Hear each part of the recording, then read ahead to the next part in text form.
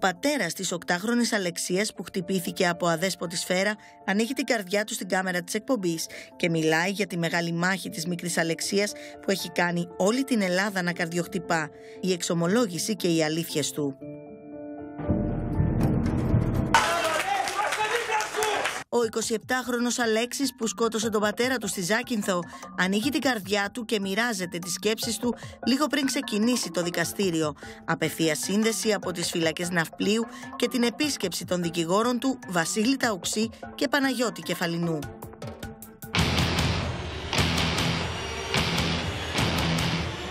Δείτε σήμερα, αποκλειστικό, καταιγιστικές εξελίξεις στην υπόθεση της τυγερής δολοφονίας του καρδιολόγου στη Σιτία. Πλούσιο ρεπορτάζ και αποκαλύψεις. Σε ζωντανή σύνδεση ο καλλιτέχνης Χαμπάς που έκανε τυχογραφία τις 102 καρδιές για τις ψυχές που έφυγαν άδικα στη φωνική πυρκαγιά του καλοκαιριού στο μάτι. Το έργο έγινε viral και συγκίνησε το Πανελλήνιο.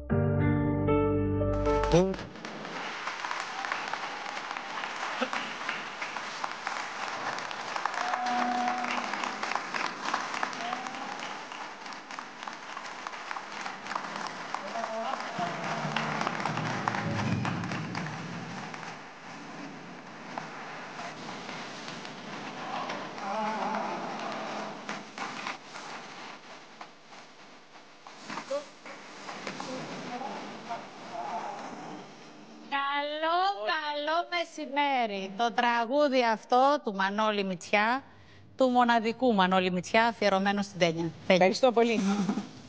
Πραγματικά νομίζω πως αυτές οι μουσικές μας ταξιδεύουν και στην πατρίδα μας στο Βόλο και παντού. Και... Πρέπει να σου πω ότι αυτό το τραγούδι μου το χάριζε ο άντρας μου. Ε, να, πήγα να σου το πω τώρα, γιατί είναι Έχω συναισθημένη. συγκλονιστεί, έχω συγκλονιστεί. Δηλαδή, τι να σου πω. Εντάξει, ε, και πήγα να... ε, δεν πρόλαβα να το, να το πω και με πρόλαβες και νομίζω ότι αυτό είναι το εντυπω- εντυπωσιακό των σχέσεων που κρατάνε χρόνια. Ακριβώς. Ήμουν σίγουρη πως αυτό ήταν κομμάτι σας. Ναι, μοναδικό. Λοιπόν, έτσι, έτσι είναι η δική μας εκπομπή, γιατί είναι μια εκπομπή σχέσης που εκεί που γελάς ε, κλαις και εκεί που κλαις ξαναγελάς. Και αυτό είναι το ελπιδοφόρο στη ζωή που λέω πάντα. Δίνετε βάση σε ό,τι λένε οι άλλοι για σας ή εσείς τον εαυτό σας, κυρ Νίκος. Σε νοιάζει τι θα πει η Ζήνα ή σε νοιάζει τι θα πει ο κυρ Νίκος για τον κυρ Νίκο; Με νοιάζει τι θα πω εγώ. Στον εαυτό μου. Φραντζέσκο; Δυστυχώς τι θα πούνε οι άλλοι για μένα. Άρε Φραντζέσκο. Κι άμα η Μαρία σε... Να τη Μαρία που σε ψάχνω. Μαρία δεν πιστεύω να μην δεν είσαι καλή μαζί του. Με τον Φραντζέσκο. Πολύ καλή. Δεν πιστεύω να τον κατηγορείς. Όχι, όχι, όχι. Του λες τι άντρα έχω. Φυσικά. Α, μπράβο. Γιατί άμα μου τον αποπάρεις που είναι και ακούει τι λένε οι άλλοι θα έχουμε θέμα. Γιώργο, Τι λέω εγώ για τον εαυτό μου; τι λες εσύ, ε; Λοιπόν, μετά θα ρωτήσω και γυναίκες. Ε, είναι ένα ερώτημα που η Στέλλα η ζωή μας το έδωσε σήμερα για την εκπομπή. Ε, εκεί που σκεφτόμασταν και λέγαμε διάφορα τι να σας ρωτήσουμε σήμερα, έρχεται η Στέλλα και μας το λέει κατευθείαν. Μας άρεσε πάρα πολύ, οπότε είναι ένα ερώτημα πολύ πολύ έτσι βασικό για μένα για τη ζωή μας. Τι λένε οι άλλοι για σας ή εσείς τον εαυτό σας; Τώρα, ε, επειδή στην αρχή εμείς είμαστε στο μάτι και στα εύκολα και στα δύσκολα, μ' αρέσει να το λέω έτσι, σε λίγο θα έχουμε και τον υποψήφιο δήμαρχο που είναι μέσα και ο Δήμος, μαραθώνα, είναι και το μάτι μέσα και θα τον ρωτήσουμε πάρα πολλά. Όμως θα ξεκινήσουμε τώρα με κάτι που είδαμε εκεί στη Ραφίνα και μας έκανε φοβερή εντύπωση. Αυτό το γκράφιτι, έργο τέχνης για μένα, συναισθηματικού αποθέματος και τόσων άλλων, γιατί περιγράφει ένα παιδί που μετράει 102 καρδιές. 102 ψυχές που χάθηκαν, αλλά που δεν χάνονται γιατί αφού ριζώνει το δέντρο και αφού ανθίζει δεν χάνονται ποτέ αυτές οι ψυχές. Εκεί βρίσκεται η Εύη Γιαρκιά. Πραγματικά νομίζω ότι και τώρα πίσω που το έβλεπα με την Ελενίτσα τη Βλαχογιάννη και την Αλκούνη την Κουλαξίζογλου, τους δύο ανθρώπους που με επιμελούνται στο styling, στα ρούχα, μείναν με το στόμα ανοιχτό γιατί και εκείνες για πρώτη φορά το βλέπανε. Εγώ είχα την γνώση γιατί από χθες ε, το είδαμε να κυκλοφορεί στο διαδίκτυο και ζήτησα ευθύς αμέσως να συνδεθούμε σήμερα. Γιατί δεν θέλω να πηγαίνουμε μόνο για τα δύσκολα στο μάτι, αλλά και για τέτοιες ανάσες ζωής όπως αυτή. Και είναι δίπλα η Εύη Γιαρκιά με τον καλλιτέχνη που δεν θέλει να δείχνει το πρόσωπό του και θα μας εξηγήσει εκείνος το λόγο. Αλλά πραγματικά θέλω να του δώσω συγχαρητήρια. Είναι 43 ετών. Ο Χάμπας και το πραγματικό του όνομα είναι Αντώνης. Το καλλιτεχνικό του είναι Χάμπας. Ευάκι μου γλυκό, καλό μεσημέρι. Σε σένα και τον καλεσμένο. Ζήνα, καλό μεσημέρι. Όπως είπες πάρα πολύ εύστοχα στην αρχή, είναι ένα έργο συναισθηματικού αποθέματος. Ένα αγοράκι με το χαμόγελο της ελπίδας κρατάει ένα κλαδί και αντί να έχει άνθη, έχει τις 102 ψυχές των ανθρώπων που έφυγαν από την τραγωδία στο μάτι. Ε, δίπλα μας είναι ο Χάμπας, ε, ο καλλιτέχνης, ζωγράφος και ε, πέρασε ένα πάρα πολύ δύσκολο καλοκαίρι γιατί εκτός από τους ε, νεκρούς στο μάτι, ο ίδιος παραθέριζε όλα του τα καλοκαίρια στο μάτι και έχει αναμνήσεις από υπέροχες στιγμές, έχασε και τη μητέρα του Ζήνα. Ο άνθρωπος λοιπόν αυτός όταν κλήθηκε από το Δήμο να φιλοτεχνήσει ένα έργο, σκέφτηκε αυτό και είναι πάρα πολύ ωραίο να μας πει πώς το εμπνεύστηκε. Ε, Χάμπα, σε ακούνε στην εκπομπή σας στον αέρα. Καλό ε, μεσημέρι Χάμπα. Καλησπέρα. Καλό μεσημέρι, να είστε καλά. Ε, ήθελα πολύ καιρό να το κάνω αυτό το έργο ε, από το καλοκαίρι που έγινε η τραγωδία και επιτέλους βρήκα το, την ευκαιρία και έκανα το έργο αυτό το οποίο το είχα εμπνευστεί από την πυρκαγιά. Ε, το έργο ουσιαστικά μιλάει για τον κύκλο της ζωής και ε, μιλάμε περισσότερο ότι ήθελα να δώσω το νόημα ότι ο κύκλος δεν έχει ούτε αρχή ούτε τέλος, είναι όλη μια συνέχεια ε, και περισσότερο το έκανα για τις ψυχές αυτές που χαθήκανε χωρίς κανένα απολύτως λόγο. Χαμπά, ε, έχεις κάνει καταρχήν ένα παιδί με πολύ έντονο βλέμμα. Το βλέμμα είναι χαρακτηριστικό ναι. του έργου σου. Είναι τόσο πύρινο το βλέμμα του. Ε, επειδή και εγώ έχω ασχοληθεί με ζωγραφική, ξέρω τι θα πει τέχνη τουλάχιστον στα βασικά της στοιχεία. Ξέρω την έμφαση που έχεις δώσει στο έργο σου, γιατί έχεις δώσει την ίδια δύναμη στα μάτια με την ίδια δύναμη στις 102 καρδιές. Και αυτό για μένα ε, σημαίνει ναι. πάρα πολλά και για το συναισθηματικό σου απόθεμα και για την αλήθεια της ψυχής σου. Και θέλω να το πω και να το καταθέσω ευθύς εξ αρχής, γιατί θέλω να είμαι δίκαιη με τον εαυτό μου και με το έργο που είδα. Είναι πραγματικά συγκλονιστικό και το ελπιδοφόρο είναι ότι αυτό βρίσκεται έξω από ένα σχολείο, όπου ψυχές παιδιών το βλέπουν καθημερινά σε μια περιοχή που τουλάχιστον υπάρχουν πολλά αποκαίδια. Ναι, σίγουρα. Και ήθελα πάρα πολύ να μείνει αυτό το έργο, ώστε να, να μην ξεχάσει ο κόσμος αυτή την άσχη στιγμή, αλλά να δώσουμε και μια ελπίδα, δηλαδή το έργο είναι ελπιδοφόρο και θα ήθελα να γίνουν και άλλες κινήσεις γενικά, να δούμε πράγματα στην περιοχή που έχει πληγεί ε, και με αυτό το σκεπτικό δημιουργήθηκε. Ο, η απώλεια της Μανούλας έπαιξε ρόλο σε αυτά τα μάτια; Που ζωγράφησες. Σίγουρα, σίγουρα έπαιξε ρόλο γιατί ένιωσα κι εγώ σχεδόν τα ίδια πράγματα με τους ανθρώπους που χάσανε από την πυρκαγιά αγαπημένα τους πρόσωπα ε, και η, η, περιοχή ήταν πάρα πολύ οικία γιατί έχω περάσει όλα τα καλοκαίρια μου εδώ, είχα πάρα πολλούς φίλους, η αδελφή μου έφυγε από το σπίτι της γιατί έφτασε δίπλα η φωτιά. Οπότε ουσιαστικά ήταν σαν να το έζησα ε, και σίγουρα ήταν πολύ έντομο για μένα οπότε δεν υπήρχε περίπτωση, θα έβρισκα ευκαιρία να φτιάξω ένα έργο. Τα ματάκια αυτά που κοιτάζουν στον ουρανό. Τα ματάκια αυτά που κοιτάζουν στον ουρανό και βλέπουν το φως. Είναι τα δικά σου μάτια; Ναι. Είναι; Ε, σίγουρα, σίγουρα, σίγουρα είναι. Σίγουρα είναι και τα δικά μου. Αλλά θέλω να είναι όλων τα μάτια έτσι. Να Μα μέσα από κοιτάζουν τα δικά προς- μας- προς το φως. Γίνονται όλων τελικά. Τένια μου. Ναι, ακριβώς και εγώ αυτό Έτσι, φανταζόμουν. έτσι. Ε, όταν έβλεπα τα μάτια αυτά, θα έλεγα μακάρι ο Χάμπα να έβγαζε τα γυαλιά του, γιατί θα έβρισκα αυτό το βλέμμα και Ναι, στο δικό ήμουν του πρόσωπο. σίγουρη. Μμ. Αυτό σκεφτόμουν κι εγώ. Θα ρωτήσω. Γιώργο. Υπέροχο, υπέροχο. Και ο έργο. Σπύρος και ο Γιώργος. Ο Ναι. Σπύρος, ο Σπύρος, ας πούμε. Έλα Σπύρο μου. Ε, ήθελα να ρωτήσω αν είναι ένα πραγματικό πρόσωπο το παιδάκι που βλέπουμε. Ε, αν είναι ένα παιδάκι το οποίο συνδέεται με την ιστορία στο μάτι. Ε, όχι, όχι, όχι. Όχι. Δεν είναι πραγματικό Είμαι πρόσωπο. σίγουρη. Είναι δημιουργία δικιά μου. Ακριβώς. Εκείνος παιδί είναι. Έτσι, μπράβο. Ο ίδιος. Έτσι, Ο ίδιος. έτσι μπράβο. Άρε χάμπα, μπορεί να μας κρύβεσαι πίσω από τα γυαλιά και πίσω από το καπε- κα- κάτω από το καπέλο, αλλά η ψυχή σου έχει αποτυπωθεί σε ένα έργο, πραγματικά έργο τέχνης ε, και θα μπορούσε να κοσμεί αυτό που κάποτε είπες εσύ Γιώργο, τώρα το θυμάμαι και συγκινούμε. Ε, Χάμπα, επειδή δεν θα παρακολουθείς την εκπομπή, γιατί και εσύ έχεις τις δουλειές σου, θα πω κάτι που είχε πει ο Γιώργος και μου είχε κάνει εντύπωση, ο Γιώργος Καραϊβάζος, συνεργάτης της εκπομπής. Είχαμε πάει στην οικογένεια Χερουβίμ, που η οικογένεια αυτή έχασε α, εκτός από την α, μητέρα, την αδελφή και δύο δίδυμα παιδιά. Τα δύο δίδυμα παιδιά ε, είχαν αφήσει μισά τα έργα τους. Το, και όταν είδαμε τι ήταν αυτά τα έργα, ήταν δύο παλάμες που ήταν τα τελευταία τους έργα, που ήταν οι παλάμες αυτών των παιδιών. Τότε λοιπόν ο Γιώργος είχε πει ότι αυτά θα έπρεπε να μπουν σε ένα μουσείο στο μάτι για να θυμούνται α, οι, παλιοί, ε, οι παλιοί τι ακριβώς α, είχε συμβεί και οι νέοι να βλέπουν μπράβο κοντρόλ, μπράβο σας πραγματικά, α, αυτά τα χεράκια που είναι μισοτελειωμένα από τα δίδυμα α, ε, παιδάκια.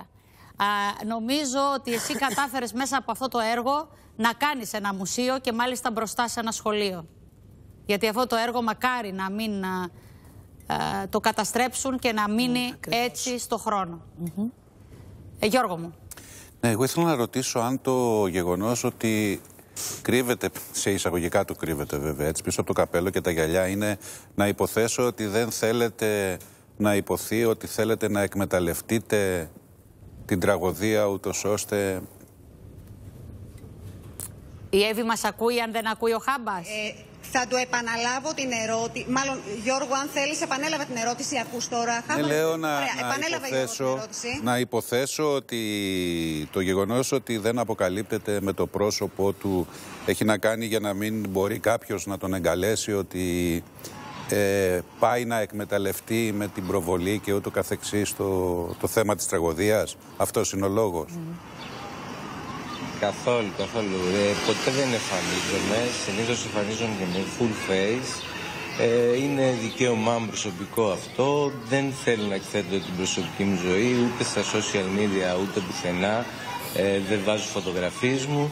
Οπότε είναι κάτι τελείως προσωπικό. Μάλιστα, είναι Και στάση υπάρχει ζωής, κιόλας λοιπόν. στην κουλτούρα του. Ναι, υπάρχει και στην κουλτούρα του σεπτάρτ. Ε, γενικά ε, και στους καλλιτέχνες οι οποίοι δεν θέλουν να εμφανίζονται, θέλουν να δυναμώνουν το έργο τους και το έργο τους να μιλάει.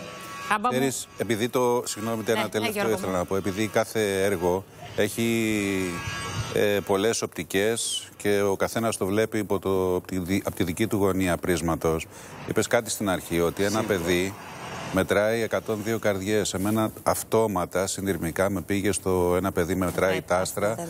Εδώ βλέπω ένα παιδί να μετράει φλόγες και καμένες ψυχές. Μπορεί να μην Όμως, είναι το Έχει αισιόδοξο. κλωναρά και αισιοδοξίας. Ναι, μπορεί να μην είναι η, αισι- Φύλλα η που αισιόδοξη, ξαναφύτρωσαν. η αισιόδοξη οπτική, μπορεί να είναι ο πεσιμισμός, αυτό, αλλά... εν πάση Πάντω περιπτώσει, από το υπάρχει έργο αυτή η αυτό είναι ερμηνεία. αισιόδοξο γιατί είναι Ναι. γεμάτο χρώμα. Χάμπα μου, να σε Μη τι ευχαριστήσουμε πάρα πάρα πολύ. Α, Εύη μου, σε ευχαριστούμε. Να είστε καλά. Πραγματικά σε ευχαριστούμε πάρα πολύ.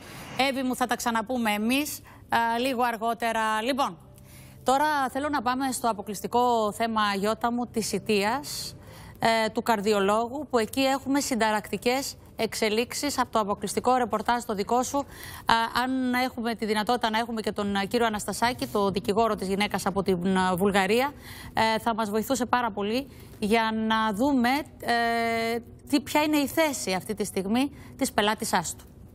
Ζήνα, θυμόμαστε ότι το δικαστήριο είχε διατάξει ε, να διαβαστούν αντίγραφα των πρακτικών και της ε, δικογραφίας στον εισαγγελέα προκειμένου να διερευνηθεί αν τελέστηκε στο ακροατήριο Το αδίκημα της ψευδορκίας από. Συγγνώμη, αλλά με έχει πιάσει ζήνα ένα, δεν ξέρω. Ναι. Δεν ε, νιώθω καλά. Να, να πάμε σε άλλο θέμα. Αν γίνεται, ναι, Βεβαίως. ένα νεράκι. Λοιπόν, ε, πάμε σε διαφημίσεις και επαναρχόμαστε.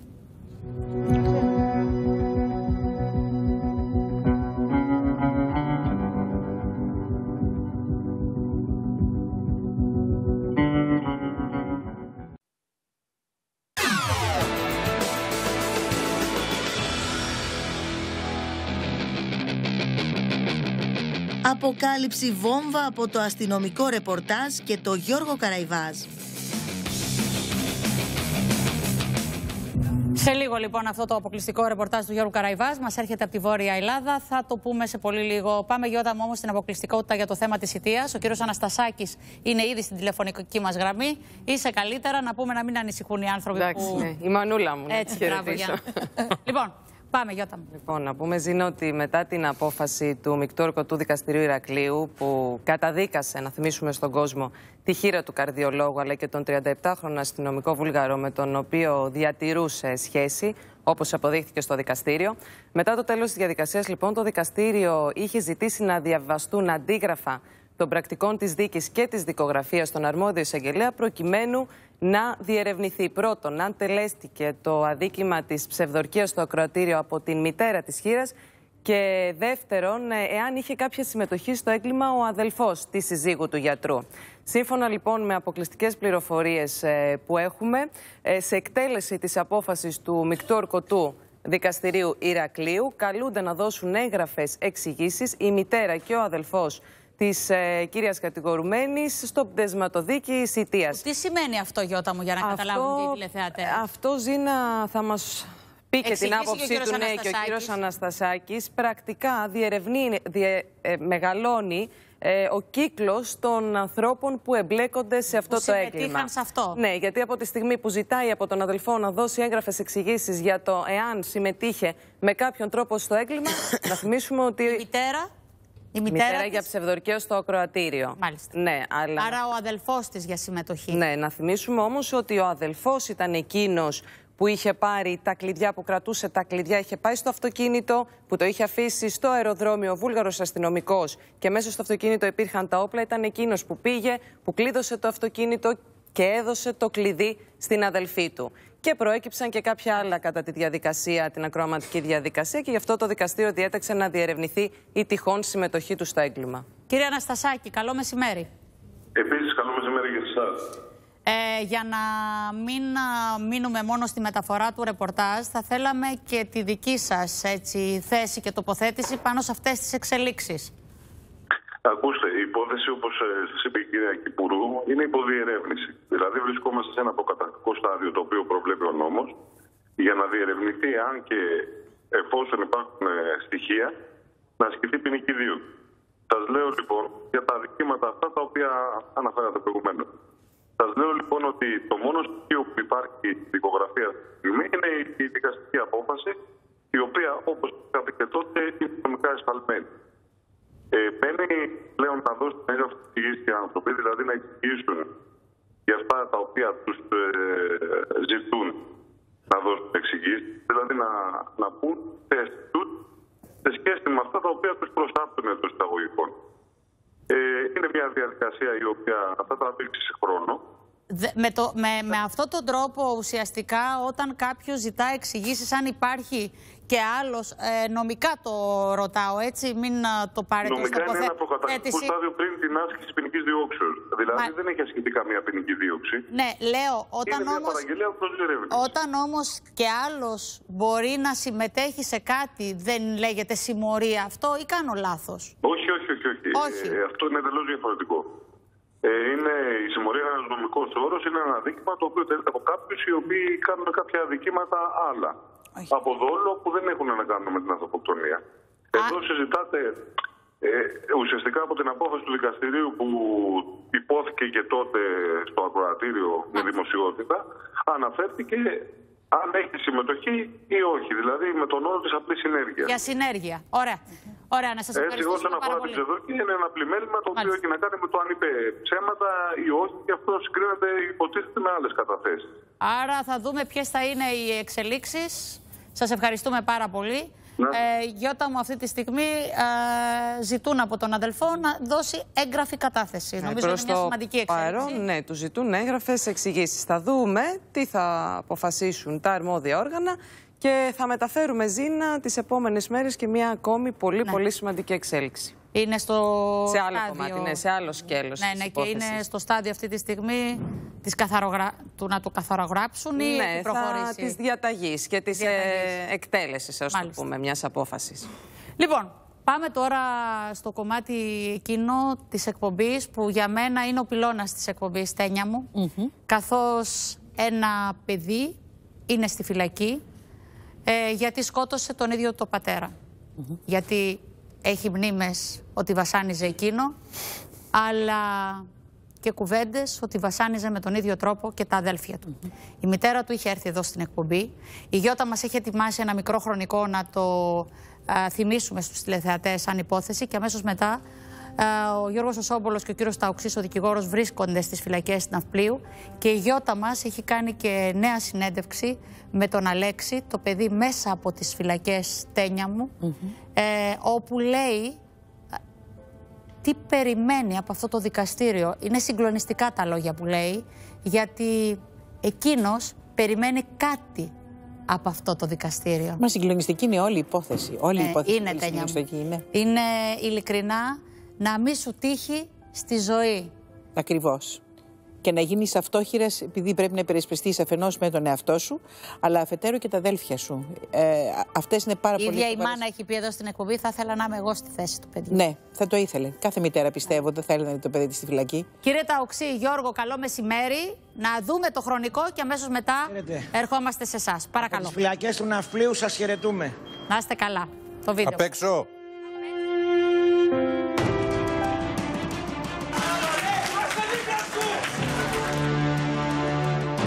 Ένα έγκλημα που συγκλώνησε το Πανελλήνιο και που δημιούργησε ένα πρωτοφανέ κύμα συμπαράστασης στο πρόσωπο του 27χρονου Αλέξη από τη Ζάκυνθο που έβαψε τα χέρια του με αίμα, σκοτώνοντας τον ίδιο του το πατέρα. Όπως αποδείχθηκε όλα συνέβησαν το βράδυ της Κυριακής 27 Μαΐου του 2018. Ο συνταξιούχος ταχυδρόμος βρέθηκε νεκρός έχοντας δεχτεί πυροβολισμούς μέσα στο αυτοκίνητό του λίγο έξω από το χωριό Βολίμες. Οι αρχές από την πρώτη στιγμή εκτιμούσαν ότι δράστης και θύμα γνωρίζονταν. Τελικά, μετά από επίμονες ερωτήσεις των αστυνομικών, ο 27χρονος έσπασε και ομολόγησε ότι σκότωσε τον πατέρα του, καθώς είχε άσχημη και κακοποιητική συμπεριφορά απέναντι στον ίδιο και τα δύο ετεροθαλή ανήλικα αδέλφια του. Κάθε μέρα πήγες στα παιδιά, να είδε τα παιδιά τι κάνουν και ερχόταν στο σπίτι. Μαμά, αυτά τα παιδιά είμαστε συνένοχοι, μου έλεγε. Μαμά, αυτά τα παιδιά ζουν αυτά που έχουμε ζήσει και εμείς. Τι θα κάνουμε, μαμά. Πρέπει κάτι να κάνουμε για αυτά τα παιδιά. Για τα εφιαλτικά χρόνια που έζησαν δίπλα στο συνταξιούχο ταχυδρόμο, μίλησε η πρώην σύζυγός του στο πλατό της εκπομπής. Κάναμε οικογένεια. Γέννησα τον Αλέξη μου. Για ένα χρόνο ήταν καλά. Μετά όμως δεν άλλαξαν τα πράγματα. Άλλαξαν. Να τρώμε ξύλο εγώ, τα παιδιά μου. Να βλέπουν τα παιδιά τη μάνα τους χάμουν και να... Τέτοιο ξύλο που έχω φάει, να μην το φάει άλλη γυναίκα στον κόσμο. Και τα βλέπε ο Αλέξης. Τα βλέπαν, τα παιδιά ουλιάζανε. Ζητάγαμε βοήθεια. Τώρα θα δείτε τι θα πάθει η μάνα σας. Χωρίς... Γιατί, γιατί του είπα, πάρ το παιδί αγκαλιά, ήταν κοιμισμένο, να... το έβανε το παιδί να περπατήσει 1,5 χρόνο παιδάκι. Πάρ το αγκαλιά του, λέω, και μάτ το παιδί. Όχι, να ξυπνήσει. Και γι' αυτό το πράγμα, να μου πήγαμε σπίτι, κλειδώνει πόρτες, παράθυρα, σηκώνει τη μουσική στα σύννεφα. Για και να τώρα, σας χτυπήσει. ναι, και τώρα θα δείτε Για να μην τι, ακουστούν οι έτσι, φωνές. τι θα πάθει η μάνα σας. Κάθε φορά εγώ κλειδωνόμουν στις τουαλέτες, Ζήνα. Με την κάμερα της εκπομπής και μαζί με τους δικηγόρους και τους τεχνικούς συμβούλους του 27χρονου κάναμε αυτοψία στο χωριό Βολίμες και στο σπίτι κολαστήριο όπως το χαρακτηρίζουν τα παιδιά του 70χρονου συνταξιούχου. Είμαι περήφανη για αυτό το παιδί. Το κεφάλι του δεν το έσκυψε ούτε λεπτό. Μου το έλεγες όταν έμπαινες στα δικαστήρια; Είδα το παιδί μου, το παλικάρι μου. Δεν το έσκυψε. Και ξέρεις τι μου είπε Ζήνα; Με πήρε τηλέφωνο. Τι σου είπε; Μάνα, 27 χρόνια περάσαμε. Βάσαμε. Μη φοβάσαι άλλο. Εγώ κοιμάμαι ήσυχος εδώ μέσα μου. είπε. Μες στη φυλακή, αλλά κοιμάμαι ήσυχος μου. είπε. Δεν θα περάσουμε άλλο. Η υπόθεση αναμένεται να εκδικαστεί από το μεικτό ορκωτό δικαστήριο Πάτρας στις 28 Ιουνίου.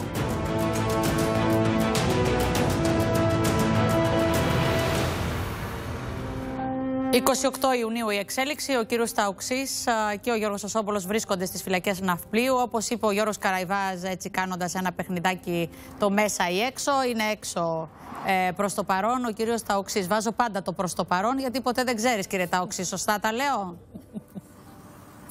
Για να το λέει ο κύριος Καραϊβάς κάτι θα πιθανό να ξέρει και ενδεχομένως να γνωρίζει ότι μου ετοιμάζουν φυλακιστήριο. ιδιαίτερα, ιδιαίτερα για αυτά που λέω κατά της κυβέρνησης και Αφήστε για τα τώρα, είμαστε σε άλλο θέμα. πραγματικές τους πρωτοβουλίες. Ναι. Είμαστε σε άλλο Είχατε- θέμα, αφήστε είχατε- τα. Α, α, μη έχετε μου το πολλές- κάνεις αυτό. Έχετε πολλές τηλεφωνικές επικοινωνίες περίεργες, κύριε Ταούξη. Μη μου το κάνετε αυτό, γιατί λέτε κάτι και μετά μου λένε. Δεν τρέπεσαι που ε, δεν στηρίζεις την ε, κυβέρνηση, που θέλεις να τη διώξεις. Εγώ δεν έχω μιλήσει ποτέ. Η καημένη. δηλαδή, πραγματικά. Αφήστε το τώρα. Κύριε Ταουξή, πάμε στο θέμα μας σήμερα για το οποίο είστε και στις φυλακές Ναυπλίου. Δεν μπορείς να φανταστείς, Γιώργο μου, τι ακούω. Ήρθαμε Απ' το έξω. πρωί στις φυλακές. ήρθαμε, στις, ήρθαμε στις φυλακές Ναυπλίου εγώ και ο εκλεκτός συνάδελφος ο Παναγιώτης ο Κεφαλινός από τη Ζάκυνθο που είμαστε οι συνυπερασπιστές μαζί με τους συνεργάτες μου τη Μάρα τη Γερογιάννη, την Εύη της Κούμα και τον Βαγγέλη τον Παραστατίδη. Είδαμε τον Αλέξη, ε, είναι οι δρομολογημένες πλέον οι εξελίξεις και έχει κουμπώσει η ημερομηνία της δίκης για τις 28 Ιουνίου. Ε, έχει τεράστια αγωνία για την εξέλιξη και την έκβαση της υπόθεσης, αλλά ταυτόχρονα το βλέπει και σαν λύτρωση στο προσωπικό του δράμα. Ένα δράμα που εμένα, που είμαι της κλασικής φιλολογίας, μου θυμίζει την ελληνική τραγωδία «Ο Ορέστης». Μόνο που ο Ορέστης είχε την τύχη να τον δικάσουν οι θεοί του Ολύμπου και να συγκινηθούν από την προσωπική του θυσία και να τον αθωώσουν. Ελπίζω ότι και οι δικαστές και οι ένορκοι του μεικτού ορκωτού δικαστηρίου πατρών που θα τον δικάσουν θα κάνουν τις ανάλογες αναγωγές και θα ε, βγάλουν, θα εκδώσουν την απόφαση που πρέπει σύμφωνα όχι μόνο με τα βιβλία του νόμου αλλά και σύμφωνα με τις ηθικές αποδείξεις και το κοινό περί δικαίου αίσθημα. Ο Αλέξης για μένα είναι ένας ήρωας που σηκώνει το σταυρό του μαρτυρίου για λογαριασμό ολάκερης της οικογένειάς του. Κύριε Ταουξή. Αποφάσισε Κύριε Ταοξή, βάλτε μια ανωτελεία, επειδή στην παρέα μας σήμερα είναι μια γυναίκα που τουλάχιστον σε αυτά τα θέματα τα κατέχει ε, και τα γνωρίζει όσο κανείς όταν υπάρχει μια τέτοιου είδους ενδοοικογενειακή βία, κακοποίηση α, σε όλα τα επίπεδα. Η κυρία Τένια Μακρύ. Θα ήθελα λοιπόν, Τένια μου, πριν ακούσουμε τον Αλέξη να μιλάει μέσα από τις φυλακές και τι σημαίνει για αυτόν αυτή η δίκη, να μου πεις τι σημαίνει για ένα παιδί ε, που βιώνει τέτοιες καταστάσεις μέσα σε ένα σπίτι και το βλέπει αυτό το μοντέλο να επαναλαμβάνεται και για τα αδέλφια του, να παίρνει τον νόμο στα χέρια του. Ε, Συνήθως, Ζήναμε, όταν έχουμε τέτοιου είδους καταστάσεις μέσα στην οικογένεια και η οικογένεια πλήττεται, ματώνει καθημερινά και ιδιαίτερα όταν βλέπεις τη μητέρα σου και τα αδέλφια σου ε, να γίνονται θύματα ενός ανθρώπου που κακώ λέγεται άνθρωπος, μπορούμε να βάλουμε ένα άνθρωπο ομορφωτέρα. Ε, Αυτός ο θυμός για την ανικανότητα τη δική σου να επέμβει σε εκείνη τη στιγμή γίνεται ορμή. Και η ορμή αυτή φτάνει μέχρι το σημείο να ε, διαπράξεις και το έγκλημα. Εκείνο που εμένα με, με προβληματίζει στον Αλέξη είναι ότι τώρα ναι, βρίσκεται μέσα στη διαδικασία αυτή, ότι δικαιώνεται για αυτό το οποίο έκανε και νιώθει πιθανότητα καλά. Όταν θα τελειώσει η δίκη και είμαι σίγουρη ότι ο Αλέξης θα έχει μια μεταχείριση η οποία θα λαμβάνει υπόψη και την ψυχολογική κατάσταση του παιδιού αυτού.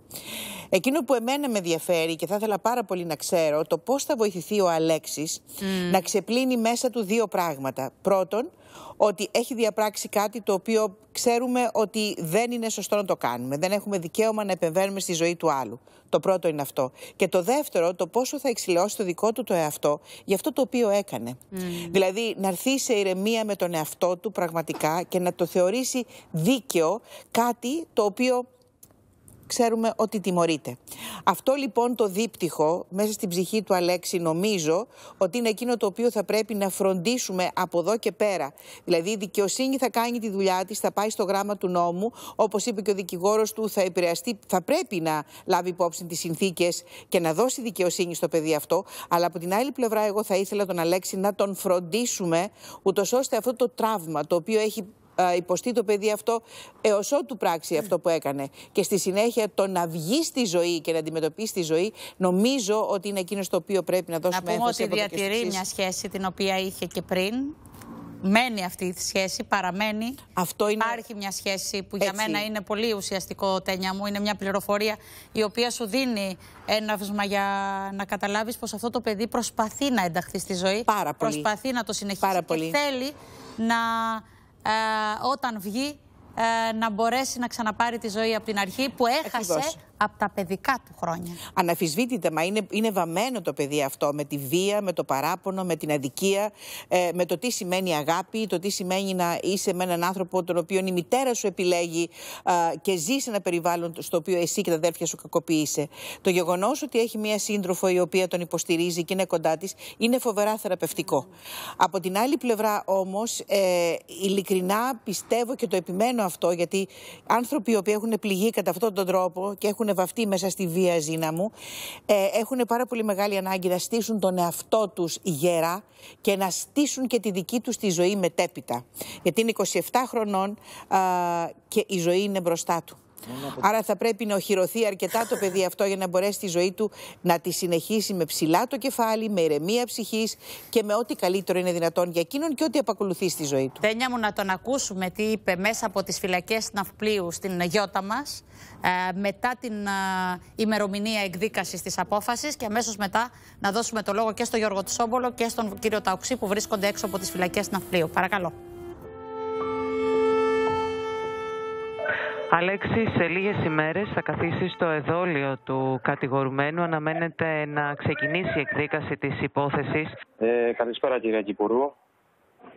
Περιμένω με αγωνία το δικαστήριο, το οποίο είναι 28 Ιουνίου. Περιμένω τόσους μήνες στη φυλακή και κάθε μέρα πραγματικά μετανιώνω για την πράξη μου. Έχουμε να μην είχα φτάσει ποτέ σε αυτό το σημείο. Περιμένω να εμφανιστώ μπροστά στους δικαστές μου για να ελαφρύνω την ψυχή μου και τη συνείδησή μου. Τα κίνητρά μου δεν ήταν ταπεινά. Αυτό που έκανα, το έκανα για να σώσω τα αδέρφια μου. Μικρά και μεγάλα. Από έναν πατέρα δυνάστη. Η κοινωνία και η δικαιοσύνη περιμένω να κατανοήσει το δράμα που ζω. Γιατί στην πραγματικότητα η ιστορία μου μοιάζει σαν αρχαία τραγωδία. Έχει περάσει περίπου ένας χρόνος από τη στιγμή που αφαίρεσε στη ζωή του πατέρα σου ένας ολόκληρος χρόνος μέσα στη φυλή. Ποιες είναι οι σκέψεις σου, Μακάρι, κυρία Κυπουρού, να μην είχα φτάσει ποτέ σε αυτό το σημείο. Μακάρι ποτέ να, να, να μην είχε φτάσει σε σημείο να ανέβει το αίμα στο κεφάλι μου. Ποτέ. Πραγματικά λυπάμαι πολύ για αυτό που έγινε. Και πιστεύω, πιστεύω στην ελληνική δικαιοσύνη και πιστεύω στο καλύτερο δυνατό. Οι συγκρατούμενοι σου τι σου λένε; Οι συγκρατούμενοι μου μου έχουν φερθεί πραγματικά με τον καλύτερο τρόπο. Και όχι μόνο οι συγκρατούμενοι μου, όλοι μέσα στη φυλακή. Μου συμπεριφέρθηκαν πάρα πολύ όμορφα. Πιστεύουν όλοι ότι μου αξίζει μια δεύτερη ευκαιρία στην κοινωνία. Ένας μήνας έμεινε. 28 Ιουνίου θα ξεκινήσει το δικαστήριο. Τουλάχιστον έτσι αναμένουμε, εκτός ναι. απρόοπτου. Και ευχόμαστε να λάμψει η αλήθεια. Αυτό εύχομαι και εγώ και η οικογένειά μου.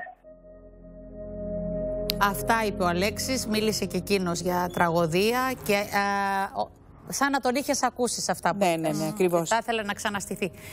Ε, Γιώργο μου και κύριε Ταουξή, ο λόγος σε εσάς τώρα.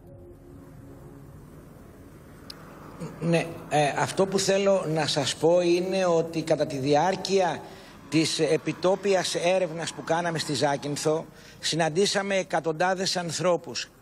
Δεν, παρά το, το γεγονός αυτό που λέμε στην Ελλάδα ο νεκρός δεν δικαίωται, Δυστυχώς για τον ε, Μακαρίτη δεν βρέθηκε ούτε ένας ε, συνάδελφός του, γείτονάς του, συγχωριανός του ε, ή από το ίδιο νησί να αρθρώσει ε, δύο λόγια καλά και ε, με συμπάθεια για αυτόν και για την παρουσία του και την κοινωνική του στάση στο νησί. Του Ναντίον μόνο παρηγορητικά λόγια ακούγαμε για τον Αλέξη και για την τεράστια περιπέτεια που εβίωσε αυτός, η οικογένειά του, κυρίως ε, αυτός και τα αδέρφια του και τα μεγαλύτερα. Κύριε Ταοξή, τι σας είπε σήμερα που μπήκατε μέσα στις φυλακές καθώς εσείς ε, δικαιούσαστε να μπείτε ως ο άνθρωπος που τον ε, υπερασπίζεται νομικά; Μου, πρώτον, μου, πρώτον ε, στην υπόθεση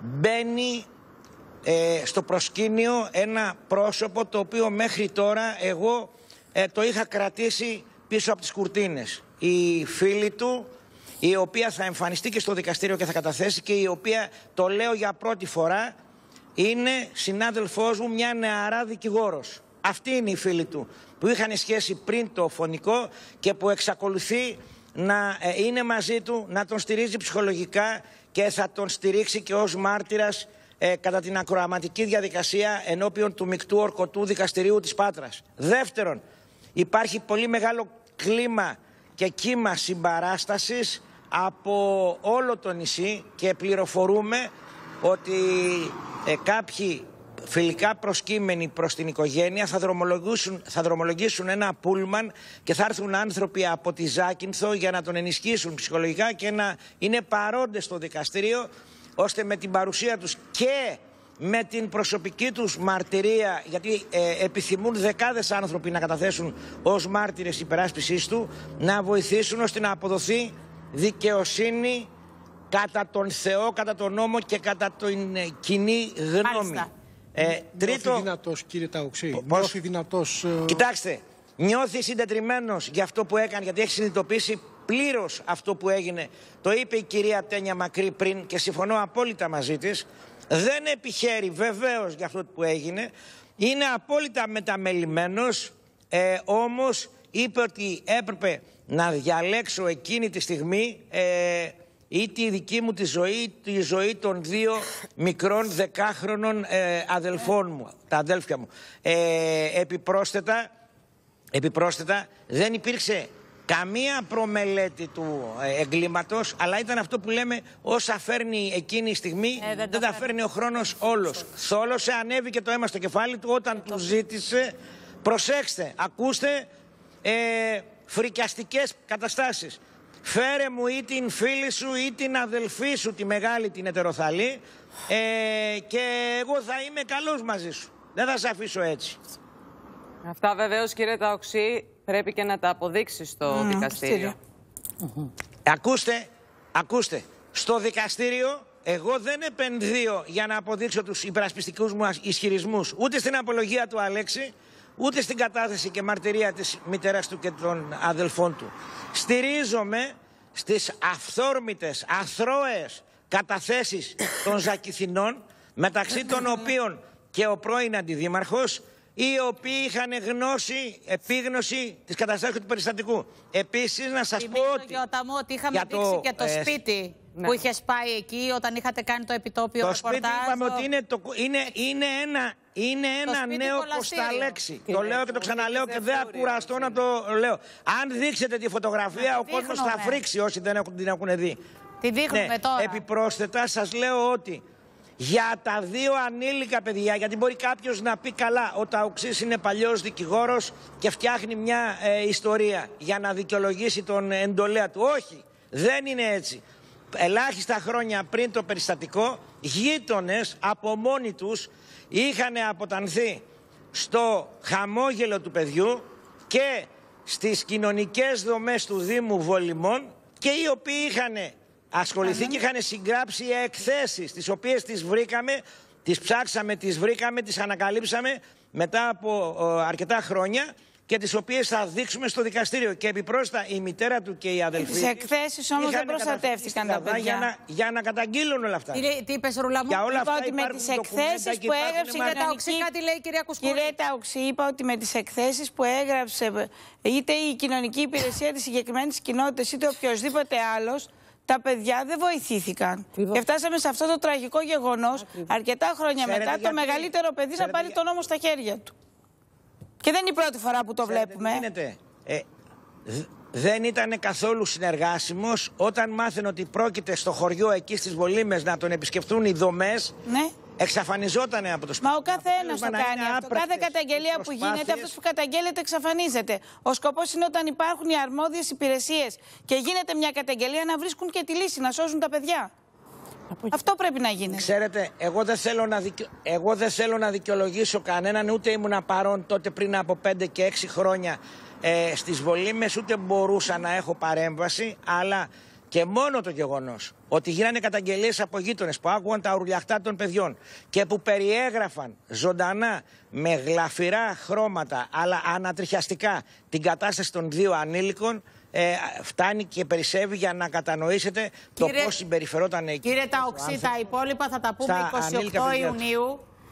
Ε, τα υπόλοιπα για αυτό το θέμα Βεβαίως. θα τα πούμε 28 Ιουνίου σας- που είναι και το δικαστήριο. Δώστε μου πάλι τον κύριο Ταοξή σας παρακαλώ για να μου δώσετε και τον α, κύριο Τσούκαλη καθώς όπως, μας, α, ε, όπως είδαμε σήμερα μια φωτογραφία του κυρίου Τσούκαλη με τον α, κύριο Λαγούδη α, για το θέμα της άτυχης Ειρήνης Λαγούδη. Ζητήσατε λοιπόν κύριε Ταοξή από τον α, κύριο Τσούκαλη α, να πάει με τον αδελφό της άτυχης α, Ειρήνης α, πού; Με καταλαμβάνετε εξαπίνης. Ε, όχι καθόλου. Συγχωρήστε για- με, αλλά δεν, θε, δεν, θέλ, δεν θέλω να πω τίποτα. Δεν Ωραία. έχω κάνει Θα δώσω το προσυνεννόηση λόγο με τον λοιπόν, σας κύριο ευχαριστούμε. Λαγούδη. Εντάξει, εντάξει, θα δώσω το λόγο στον Δεν κύριο θέλω να πω Τσούκαλη. τίποτα. Γιώργο μου, ο λόγος σε σένα. Ε, είχαμε επισκεφθεί το τμήμα δίωξης ε, ε, ηλεκτρονικού εγκλήματος με τον κύριο Ταοξή και τον κύριο Μανίκα και τον κύριο Λαγούδη τι 19 Μαρτίου.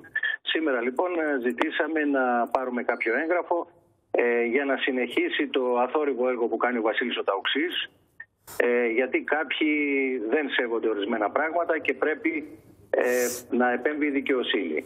Είναι ένα θέμα το οποίο ε, έχει απασχολήσει την κοινή γνώμη. Κανείς δεν μπορεί να φανταστεί το φορτίο που έχει ε, στο νόμο του ο Γιώργος Ολαγούδης ε, μετά την, το, το θάνατο της ε, άτυχης ε, Ειρήνης Λαγούδη. Είναι ένα θέμα που ε, θα πρέπει κάποια στιγμή κάποιοι να καταλάβουν ότι δεν είναι θέμα για επεκμό.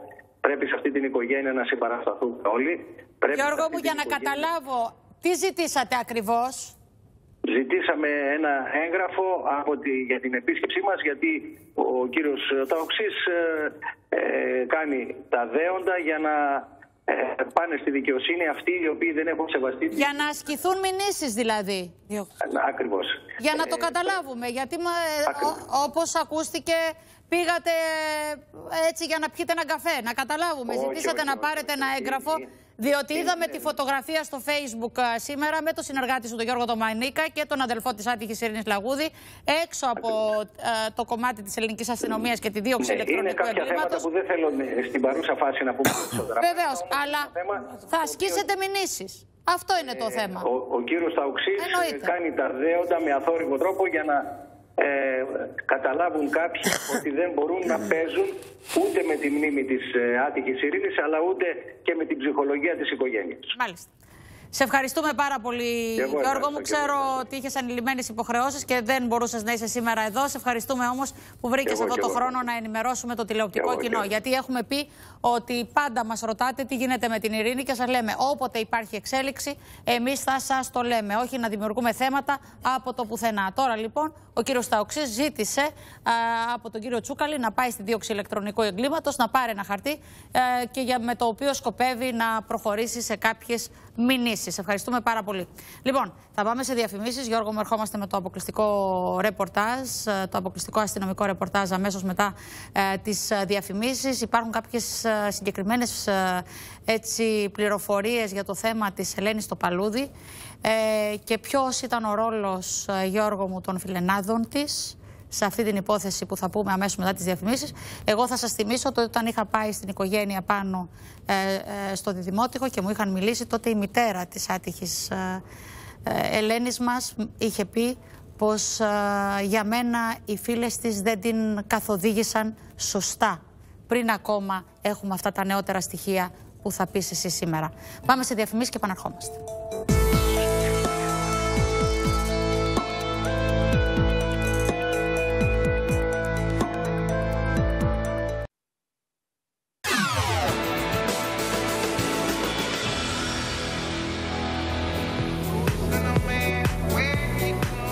Με την κάμερα της εκπομπής και 16 γιατρούς στο πλήρωμα, σαλπάραμε για τα ψαρά. Βρεθήκαμε κοντά στους κατοίκους του ιστορικού νησιού με την άγρια ομορφιά σε μια αποστολή αγάπης. Ποιο είναι το κίνητρο; Η χαρά της περιπέτειας. Να έρθεις εδώ να βοηθήσεις. Ούτε πόνεσα, για το χίλια ευχαριστώ. Να χαίρεσαι την οικογένεια, ό,τι αγαπάς.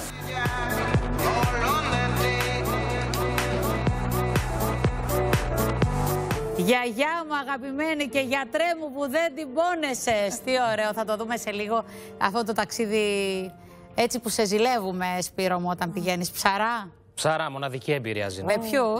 Ε, πήγα με το ναυτίλο, με τα φουσκωτά τους και είναι πολύ ωραία εμπειρία να ζήσεις που πηγαίνουν οι γιατροί, οι εθελοντές εκεί και προσφέρουν τόσα πολλά πράγματα στους κατοίκους των απομακρυσμένων νησιών. Θα το δούμε σε λίγο. Περιμένω πώς και πώς. Ε, η Χαρά Αναστασάκη που το είδε μου είπε ότι έτσι έχεις κάνει ένα πραγματικά για άλλη μια φορά πολύ ωραίο ταξίδι που έχεις δέσει έτσι τους ανθρώπους που πηγαίνουν εκεί με τις αληθινές ιστορίες ζωής. Αυτό που κάνεις πάντα με πολύ μεγάλη μαεστρία. Λοιπόν, ε, Γιώργο μου, πάμε τώρα στο αποκλειστικό ρεπορτάζ που μας έρχεται από τη Βόρεια Ελλάδα.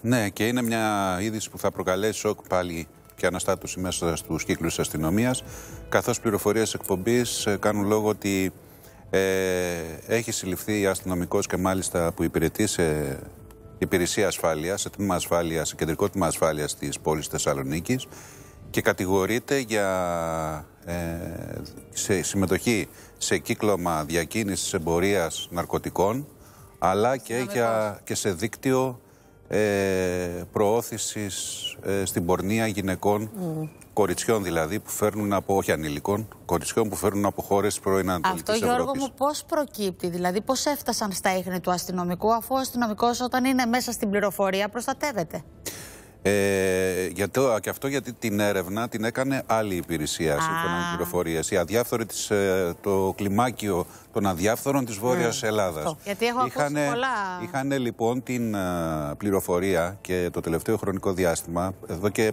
ίσως και παραπάνω από μήνα, ότι ο συγκεκριμένος αστυνομικός είναι και χρήστης αλλά ε, πιθανότατα και διακινητής. Άρχισαν λοιπόν να τον παρακολουθούν. Ω πληροφορία στα εσωτερικά της αστυνομίας. Ακριβώς άρχισαν να τον παρακολουθούν και έκαναν τις δέουσες ενέργειες, παγίδευση τηλεφώνων και ούτω καθεξής. Διαπίστωσαν ότι κυκλοφορούσε με νοικιασμένα κατά βάση αυτοκίνητα και όχι με το δικό του. Και στη συνέχεια διαπίστωσαν ότι έκανε τακτικές επισκέψεις σε μια συγκεκριμένη απομονωμένη κατοικία η οποία βρίσκεται σε μια περιοχή της ε, Χαλκιδικής. Οι πληροφορίες οι οποίες προέρχονται από την... Ε, από ε, δικαστικής ε, πλευράς ε, σημειώνουν ότι στο, ο αστυνομικός πρέπει να οδηγήθηκε ήδη σήμερα μαζί με κάποιους άλλους που φέρονται ως, συνεργοί, του στην εισαγγελία της ε, Χαλκιδικής για να απολογηθεί. Παρότι υπηρετήστε στη Θεσσαλονίκη, η σύλληψη του έγινε στη Χαλκιδική και γι' αυτό πηγαίνει στην τοπική εισαγγελία. Τι προέκυψε. Η σύλληψή του έγινε λίγο μετά την αναχώρησή του, από το, την αποχώρησή του από το σπίτι αυτό στο οποίο προμηθεύθηκε μια σημαντική ποσότητα ναρκωτικών, ε, πάνω από 50 γραμμάρια χασίς. Στο σπίτι του βρέθηκαν σχεδόν άλλα τόσα και επίσης γύρω στα 13 γραμμάρια κοκαίνης.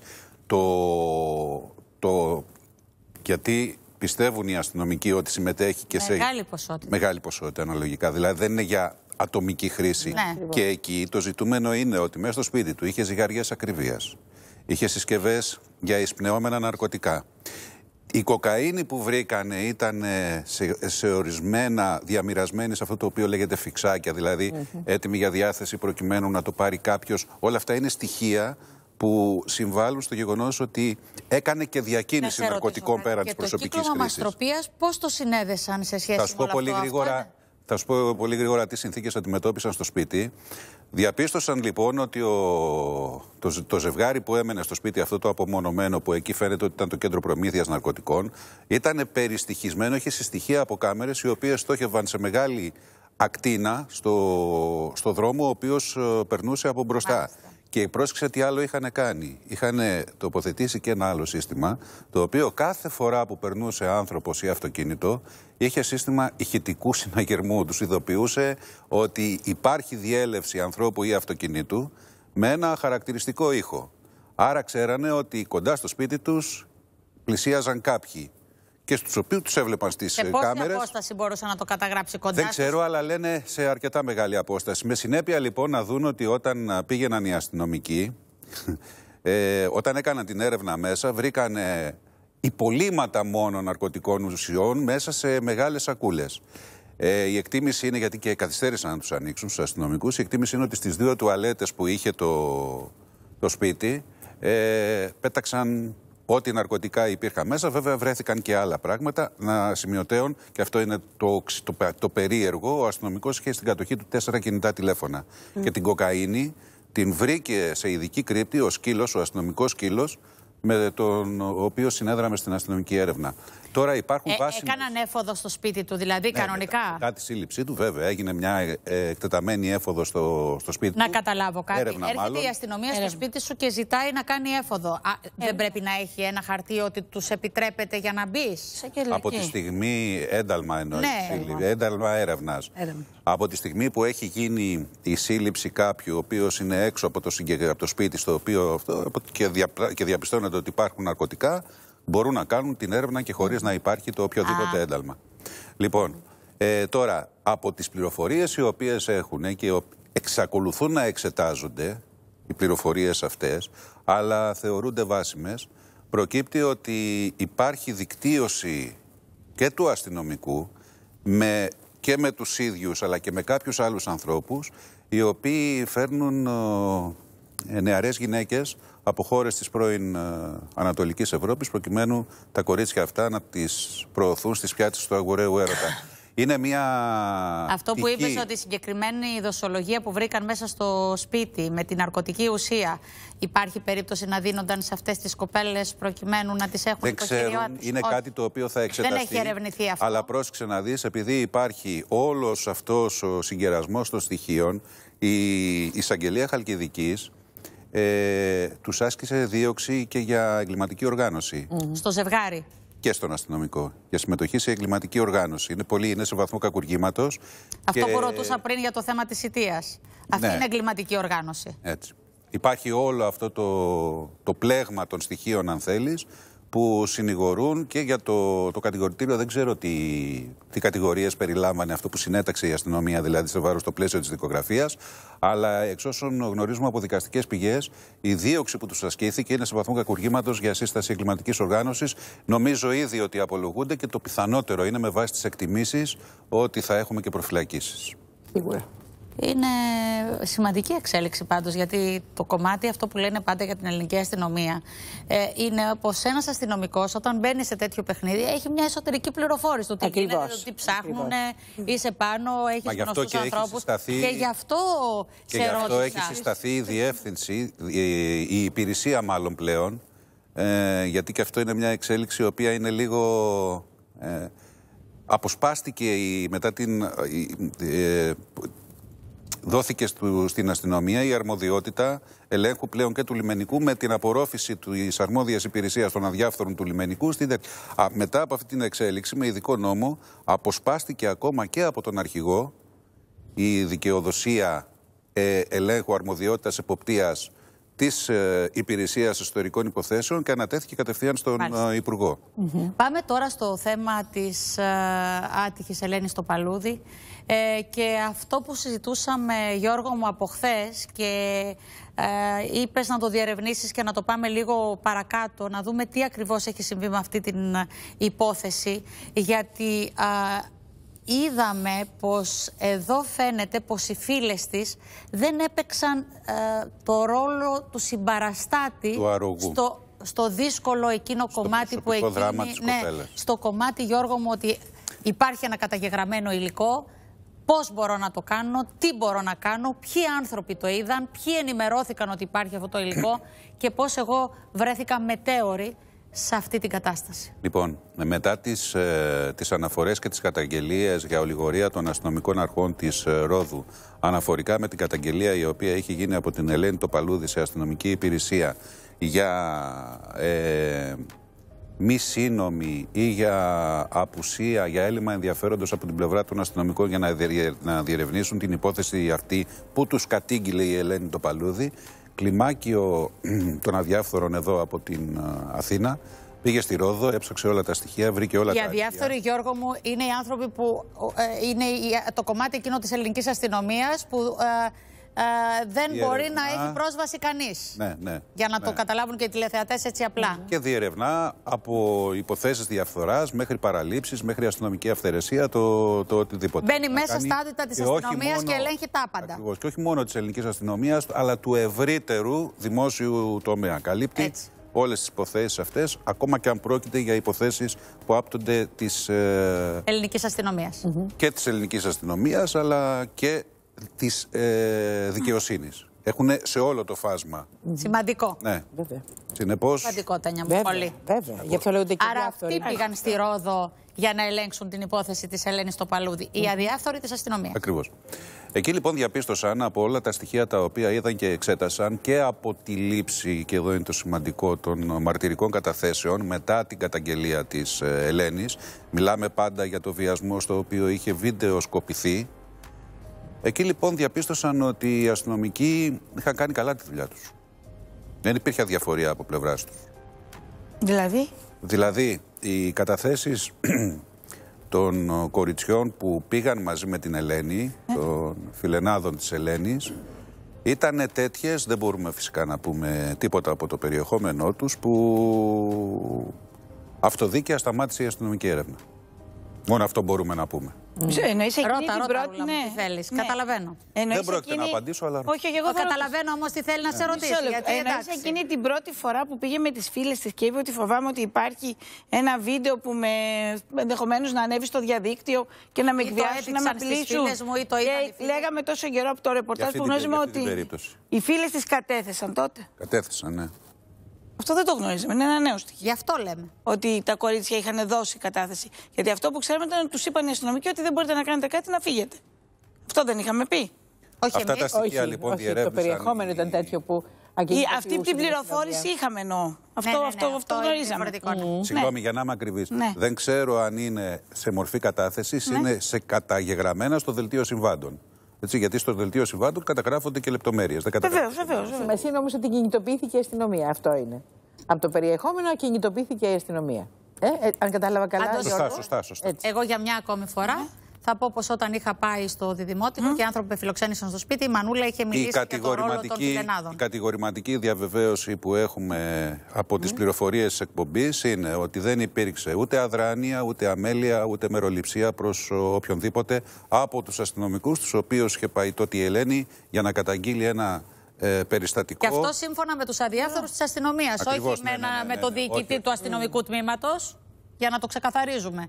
Είναι αυτή η ομάδα που μπαίνει μέσα και ελέγχει τους πάντες και τα πάντα. Και βρήκαν καταγεγραμμένο στο Συμβουλίο Συμβάντος την καταγγελία από την πλευρά της Ελένης και τι μαρτυρίε των δύο Να καταλάβει και ο φιλενάδων. κόσμος- Για να καταλάβει και ο κόσμος για ποιους μιλάμε, είναι οι που είχαν πρόσφατα με τις υποθέσεις με τα μαϊμού διπλώματα τα οποία χορηγούνταν Βεβαίως. στην περιφέρεια και ένα Ναι. σωρό υποθέσεις ακόμα οι οποίες έχουν να κάνουν σχέση και με τη διαφθορά στην αστυνομία Άρα είναι πολύ και με τη σημαντική διαφθορά εξέλιξη αυτό το κομμάτι που και με τη μαθαίνουμε διαφθορά σήμερα. στην Μαθαίνουμε ότι αυτοδιοίκηση επίσης στα νοσοκομεία με τα φακελάκια και ούτω καθεξής. Μάλιστα. Και σειρά από όλων ακόμα. Τώρα θέλω λίγο να σας ταξιδέψω, γιατί πραγματικά αυτό το ταξίδι Με του τη Σπύρου μαγική το ματιά περιμένω. του Σπύρου. Ναι, έτσι, μπράβο, όπως το Ακριβώς. είπες. Σπύρο μου, πάμε. Μονα- Μοναδική εμπειρία, ναι. Ε, θέλω να μου επιτρέψεις μόνο να πω δύο αριθμούς. 27η αποστολή του ναυτίλου, όλοι αυτοί με τα φουσκωτά που παίρνουν μαζί τους γιατρούς εθελοντές, οι οποίοι μέσα σε δυόμιση μέρες έκαναν 654 δωρεάν ιατρία. Εγώ θέλω να πω ένα μεγάλο ευχαριστώ στον Κώστα το Λαζόπουλο που πάντα είμαστε η ρωτήσω. εκπομπή εκείνη που μας ταξιδεύει μαζί του. Να ρωτήσω μας παίρνει κάτι το μαζί Σπύρο. του. Μου Ναι, αμέ, ό,τι επιτρέπεις; θες. Θα διατηρήσει αυτή τη μαγική ματιά μετά το γάμο; Θα είσαι εδώ και θα τη δεις. μέσα ή έξω από το σπίτι, να το κάνω μέσα ή έξω από τη φυλακή. Πάντα με εμπνέει η γυναίκα μου. Μπράβο. Α, Μπράβο, Μύρη, μπράβο. Ήτανε τρίποντο. Καλά, Και Έλενα μου. μάλιστα από ψηλό παίκτη. Έλενα μου το πεις σε λίγα χρόνια. Εσύ Μίλησε. έχεις τον Κώστα σου, Η αν κυρία θυμάμαι του καλά. Κωστάκη. Μίλησε ο σπόρος της αλήθειας. Οχ, θα μας πιάσουν πάλι σαν τα πουλιά. Λοιπόν, παρακαλώ, το ρεπορτάζ. Δεν μιλάω, ξέρω.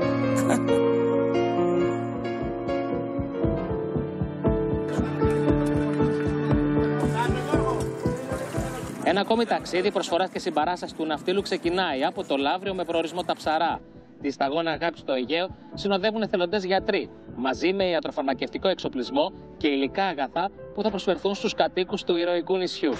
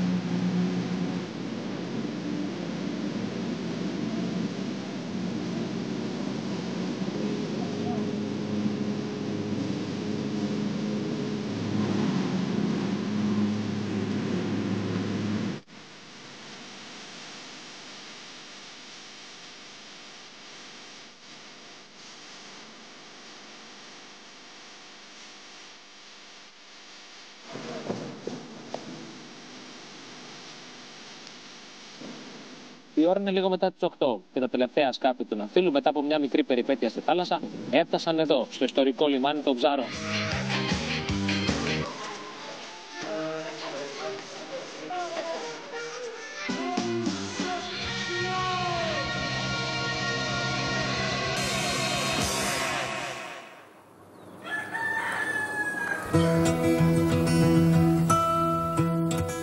Το ξύπνημα της πρώτης μέρας βρίσκει τους γιατρούς εθελοντές να προσαρμόζονται στις συνθήκες και στις δυσκολίες του νησιού, στείνοντας τα ιατρία τους στον ξενώνα, στη βιβλιοθήκη και στο αγροτικό ιατρείο του νησιού.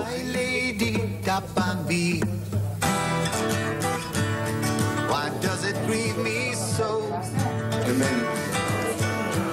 But your heart seems so silent. Στα ψαρά ερχόμαστε πάλι για δεύτερη φορά, από το 2015 ήταν η πρώτη και ήμασταν, είχα βοηθό και την κόρη μου και θα είναι και σήμερα. Ε, είναι πολύ πρωτότυπο ε, όταν πρώτο ήρθε εδώ πέρα. Μου αρέσει πολύ και βασικά είμαι πολύ περήφανη που το κάνω μαζί με τον μπαμπά μου.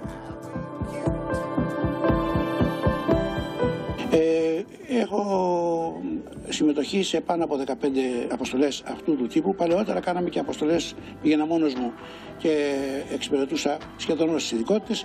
Από εκεί γεννήθηκε αυτή η ιδέα της σταγόνας αγάπης στο Αιγαίο. Θεωρώ πολύ σημαντικό το έργο ε, της ομάδας μας αλλά και των άλλων ομάδων γιατί πολλές ειδικότητες έρχονται ανατακτά χρονικά διαστήματα, ένα ίσως δύο χρόνια, ε, σε όλα τα νησιά της ε, παραμεθορίου και εξετάζουν τον πληθυσμό.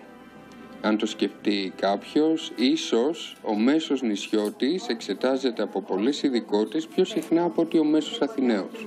Το πρόβλημα όμως θεωρώ ότι είναι και ξεκινάει για αυτούς τους ανθρώπους όταν εμείς φεύγουμε. Στα καλά τα μάτια, μπράβο.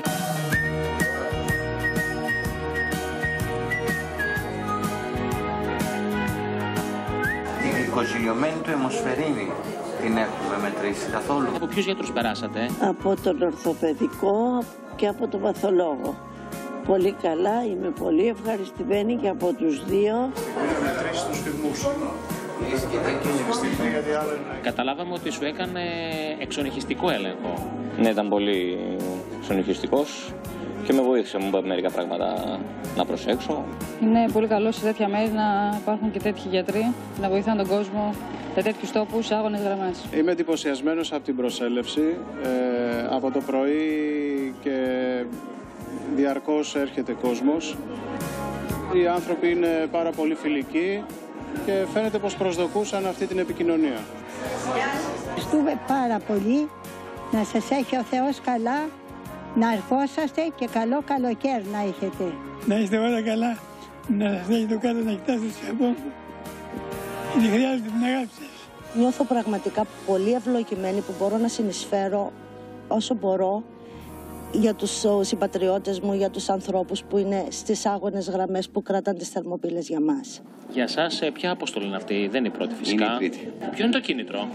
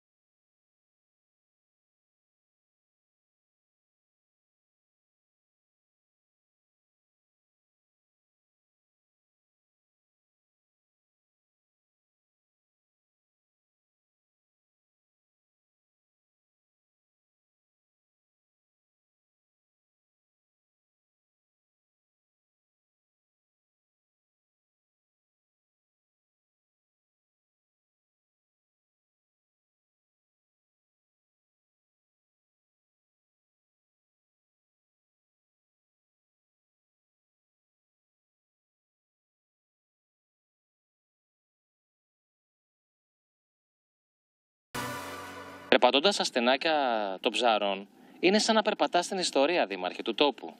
Έτσι ακριβώς. Ο τόπος μας είναι ιστορικός, ηρωικός.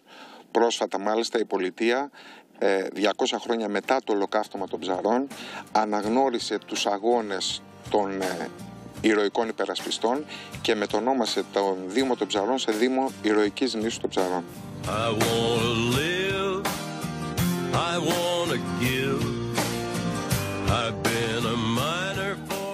Ώστε εδώ λοιπόν είναι το σπίτι του Κανάρη. Σε εδώ είναι ο χώρος που ήταν χτισμένο το σπίτι του Κανάρη. Ε, τώρα είναι ένας κήπος. Ε, έχουμε προχωρήσει στην ανάθεση μελέτης προκειμένου να τον διαμορφώσουμε, να τον εξοραίσουμε και να προσπαθήσουμε να δώσουμε την ε, έγλη που είχε ο συγκεκριμένος ήρωας και σε αυτό το χώρο. Κοιτώντας σήμερα την προτομή του Κανάρη, θα ήθελα να σας ρωτήσω αν υπάρχουν σήμερα ήρωες. Φυσικά και υπάρχουν ήρωες. Υπάρχουν ήρωες της διπλανής πόρτας. Ήρωας όμως θα μπορούσε να πει κάποιος ότι είναι και αυτός ο οποίος έρχεται σήμερα στο νησί μας για να προσφέρει εθελοντικά με όλη τη- την αγάπη υπηρεσίες στους κατοίκους αυτών.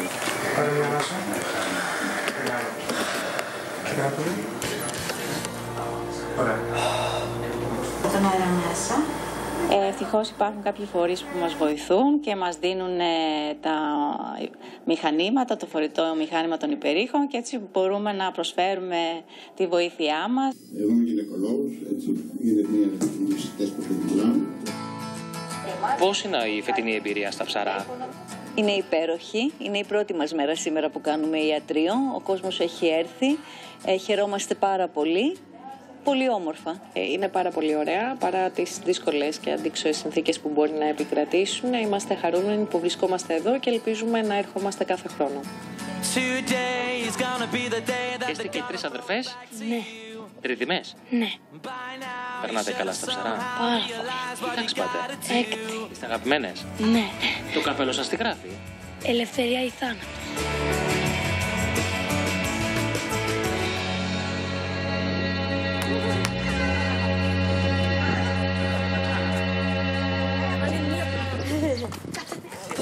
Θα βρέχω άλλη μία. Άλλη μία.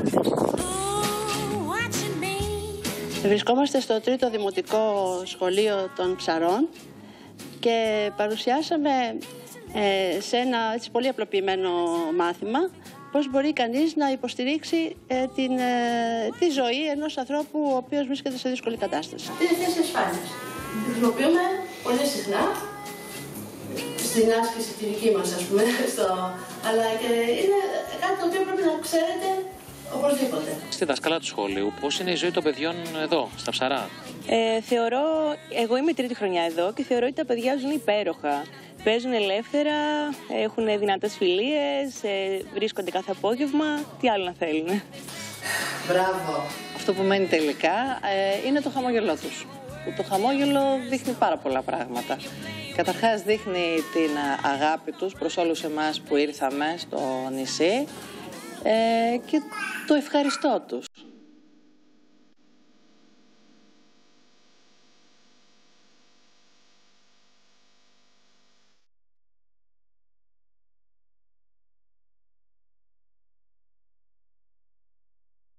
Η ιερά μονή κοιμήσου Θεοτόκου στα ψαρά είναι ένας άγνωστος θρησκευτικός προορισμός, αλλά και ένα κάζο του μοναχισμού στην καρδιά του Αιγαίου. Η μονή είναι πολύ παλιά, είναι από το 1780 περίπου, χτισμένη από μοναχούς του Αγίου Όρους. Μπαίνοντας κανείς μέσα στα κελιά, αντικρίζει εικόνες κυριολεκτικά από το παρελθόν. Δεν είναι μόνο το εργόχειρο του 1900, είναι αντικείμενα του 1700, του 1800, αντικείμενα πολύ μεγάλης αξίας. Αυτή εδώ είναι η εικόνα που τιμάται η Ιερά Μονή, είναι η κοίμηση της Θεοτόκου. Η πρωτότυπη αυτή εικόνα που πήραν οι ψαριανοί από εδώ και την πήγαν στη Σύρο, την είχε φιλοτεχνήσει ο Δομήνικος Θεοτοκόπουλος, ο Ελκυροκό που λέμε. Η ιστορία του νησιού είναι συνδεδεμένη και με τη Μαύρη Ράχη, αλλά και με την επιβλητική εκκλησία του Αγίου Νικολάου.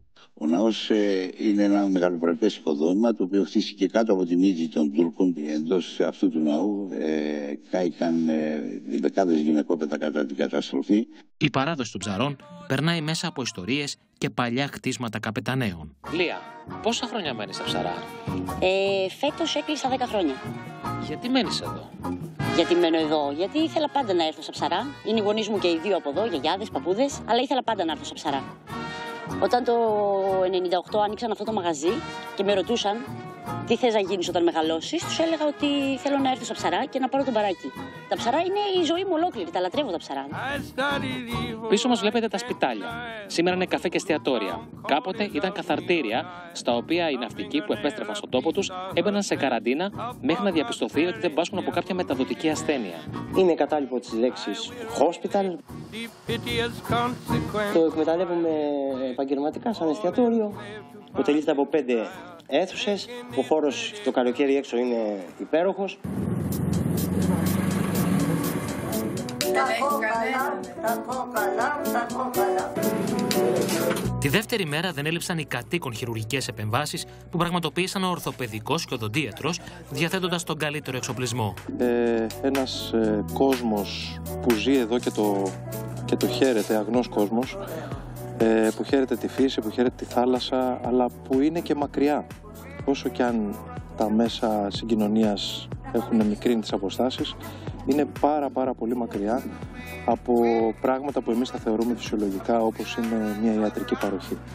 Και αυτό το λίγο που, που μπορούμε να δώσουμε ή που μπορούμε να ακούσουμε από τους ε, ασθενείς για αυτούς είναι σημαντικό. Λοιπόν, για να σε δω να περπατάς, πώς περπατάς. Ούτε πόνεσα, γιατί χίλια ευχαριστώ. Να χαίρεσαι την οικογένεια, ό,τι αγαπάς. Δεν κατάλαβα τίποτα, τίποτα, τίποτα. Δεν φώνεσα καθόλου. Είμαι πάρα πολύ χαρούμενη, γιατί εντάξει, εμείς εδώ σε αυτά τα μέρη έχουμε ανάγκη. Και η αλήθεια είναι ότι υπάρχει και κόσμος που δεν μπορεί να μετακινηθεί εύκολα.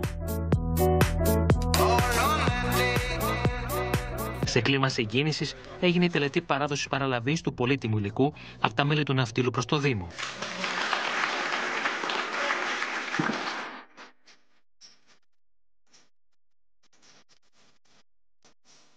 Ένα διόρατο δίχτυ ενώνει τα ψαρά του λοκαυτώματος με τις επόμενες γενιές.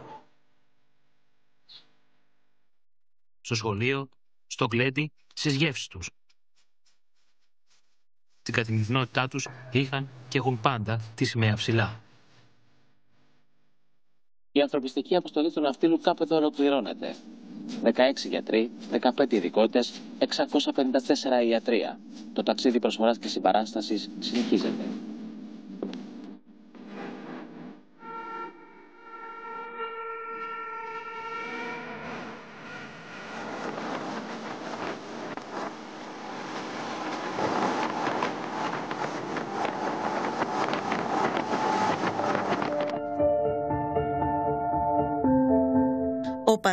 Πατέρα της οκτάχρονης Αλεξίας που χτυπήθηκε από αδέσποτη σφαίρα ανοίγει την καρδιά του στην κάμερα της εκπομπής και μιλάει για τη μεγάλη μάχη της μικρής Αλεξίας που έχει κάνει όλη την Ελλάδα να καρδιοχτυπά, η εξομολόγηση και οι αλήθειες του.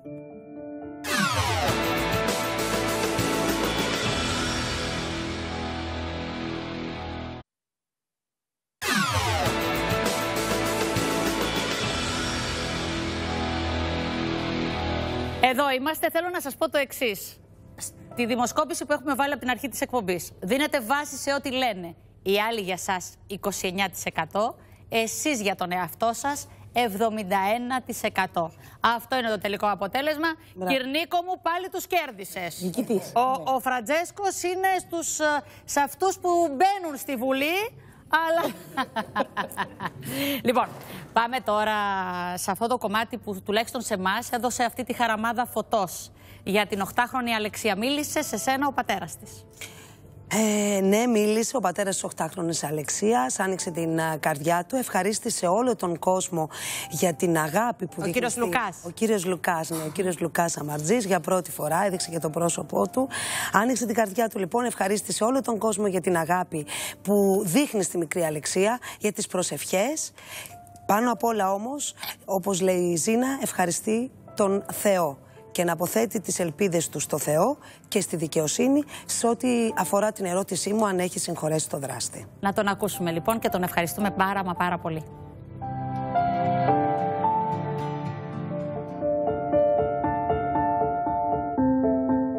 Κύριε Σαμαρτζή, έγινε ένα θαύμα. Ένα θαύμα μεγάλο, γιατί βγήκε από την εντατική η Αλεξία. Τα δικά σας τα συναισθήματα σε όλη την Ελλάδα και το μήνυμά σας, γιατί όλη η Ελλάδα προσεύχεται για την 8χρονη Αλεξία. Το ξέρω, είμαι πρώτα απ' όλα ευχαριστημένος που βγήκαμε από την εντατική προχθές τη Δευτέρα, το μεσημέρι βγήκαμε, πρώτα Θεός. Και ευχαριστώ όλο τον κόσμο που προσεύχεται και να προσεύχεται πα- ακόμα. Όλο τον κόσμο, την Ελλάδα, Α- Αμερική που με στέλνουν, με παίρνουν τηλέφωνο, Γερμανία, Αγγλία, παντού όλο τον κόσμο. Πρώτα απ' όλα να ευχαριστήσω τον διοικητή του νοσοκομείου, τους γιατρούς όλους που είναι άψογοι. Πώς αισθάνεστε που οι Έλληνες και οι Ελληνίδες είναι στο πλευρό σας με μηνύματα, με προσευχές; Σας συγκινεί όλο αυτό; Είμαι πολύ συγκινημένος από τον κόσμο και τον ευχαριστώ όλο, από την καρδιά μου. Το μεγαλύτερο μήνυμα ποιο ήταν που σας έκανε να συγκινηθείτε, να κλάψετε, να λυγίσετε; Όλο, όλο τον κόσμο, όλο τον κόσμο αυτό. Τον απλό τον κόσμο, τον απλό τον κόσμο που έρχεται εδώ κάθε μέρα. Από τη Μυτιλίνια έχουν έρθει από παντού, από παντού. Ξέρω ότι πιστεύετε πολύ στο ταξιάρχη της Ήμης. Όταν ξυπνήσει μου είχατε πει Αλεξία, θα πάτε; Ναι, ναι, ναι, μόλις, οπωσδήποτε θα πάμε. Όχι μόνο στο ταξιάρι και παντού θα πάμε. Πώς είναι η κατάσταση της υγείας της; Εντάξει. Σταθερή, σταθερή, σταθερή. Βγήκαμε από την εντατική, τώρα περιμένουμε τώρα. Όταν σας είπαν ότι θα βγει από την εντατική, πώς αισθανθήκατε; Χαρούμενος, χαρούμενος πολύ. Ε, την πρώτη μάχη τι κερδίσαμε την αναπνοή της τώρα; Η σύζυγος πώς είναι; Μια χαρά κι αυτή. Εντάξει. Γιατί ξέρω ότι δεν έχετε φύγει καθόλου από το πλευρό της. Ούτε λεπτό. Εδώ δεν έχουμε φύγει από εδώ. Ένα μήνα και κάτι μέρες που έχουμε εδώ. Δεν έχουμε φύγει. Τα υπόλοιπα παιδιά, γιατί ξέρω ότι είστε εξαιρετικοί γονείς, πού μένουν. Με τη γιαγιά τους είναι, στο χωριό. Και ο, αδερφό, και ο αδερφός σας όμως, ο οποίος κάνει ένα σπουδαίο έργο, ε, είναι ε, ιερέας, ε, είναι στο πλευρό της Αλεξίας και στο δικό σας πλευρό. Ακριβώς, ναι, ναι, ναι. ναι. Ε, θέλω να μου πείτε το όνειρό σας για τη μικρή Αλεξία. Έχει δρόμο μπροστά της, τι σας λένε οι γιατροί; Ναι, έχει δρόμο, ναι. Το όνειρό σας και η προσευχή σας, να γύρισε το μακαλά μου, ρε. Τον έχετε συγχωρέσει; Ποιο είναι αυτό, ναι. Όχι, όχι, όχι. Δεν μπορώ, δεν μπορώ. Σε αυτά θα τα λύσει η δικαιοσύνη, τίποτα. Οπότε είναι. Αυτό. Δεν με ενδιαφέρει. Εμένα το παιδάκι μου με ενδιαφέρει να γίνει καλά, τίποτα άλλο. Μέσα από την καρδιά μας του ευχόμαστε να πάνε όλα καλά, όπως μέχρι τώρα έχουν πάει τουλάχιστον σε πρώτο επίπεδο. Τα υπόλοιπα, όπως και ο κύριος Λουκάς μας είπε, έχει αναποθέσει τις ελπίδες του στο Θεό. Τώρα θα πάμε σε έναν άνθρωπο που εγώ τουλάχιστον ήξερα από άλλη του ιδιότητα. Τώρα είναι υποψήφιος δήμαρχος, παρακαλώ, στον πιο δύσκολο δήμο, ο κύριος Σπύρος Λιβαθινός. Καλό μεσημέρι. Καλό μεσημέρι. Γεια σας. Στα δύσκολα μου μπήκατε από την αρχή. Τι εννοώ με αυτό; Θέλω να σας πω το εξής. Ο πιο πολυπαθής δήμος είναι αυτός στον οποίο και κατεβαίνετε και είναι βέβαια και ο τόπος κατοικίας σας γιατί περιλαμβάνει μέσα το μάτι και όλα αυτά που συνέβησαν αυτό το καλοκαίρι και που για τον καθένα από εμά είναι πολύ μαύρα. Είναι αλήθεια κύριε Λιβαθινέ. Έχετε πολύ δίκιο. Η κατάσταση είναι πάρα πολύ κρίσιμη και πάρα πολύ δύσκολη. Νομίζω ότι αυτό που συνέβη το περασμένο καλοκαίρι, 10 μήνες πριν, είναι ένα γεγονός το οποίο έχει στιγματίσει και εμάς εδώ στην περιοχή, γιατί χάθηκαν 102 ε, συνάνθρωποι μας, αλλά και όλο τον κόσμο θα έλεγα. Και δυστυχώς όμως από εκείνη τη στιγμή και μετά δεν έχει γίνει και τίποτα για αποκατάσταση τουλάχιστον των ανθρώπων ως προς την επιστροφή τους στα σπίτια τους και στις κατοικίες τους εκεί στην περιοχή. Θέλω να σας ρωτήσω Ε, αν, πάρα ε, πολλά. Περάσει. Θέλω να σας ρωτήσω πάρα πολλά.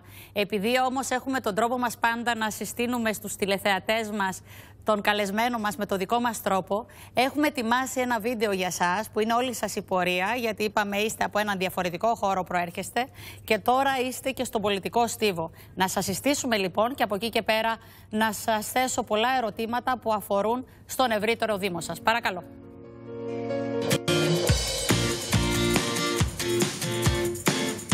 Πιστεύει πάντα στη δύναμη της ομάδας, άλλωστε είναι κάτι που έμαθε χρόνια μέσα στα γήπεδα, πως η ομάδα είναι ισχυρότερη από τη δύναμη του ατόμου. Ο Σπύρος Λιβαθινός είναι υποψήφιος δήμαρχος για το Δήμο του Μαραθώνα και με την παράταξή του συμμαχία θα δώσει τη δική του μάχη την Κυριακή στο δεύτερο γύρο. Ο Σπύρος Λιβαθινός είναι ένας άνθρωπος που ποτέ δεν τα παρατά.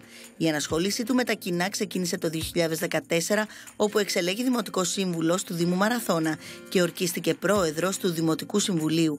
Ο ίδιος είχε κατέβει με το συνδυασμό του Ηλία Ψινάκη και επειδή δεν συμφωνούσε με τις επιλογές του, ένα χρόνο μετά παρετήθηκε.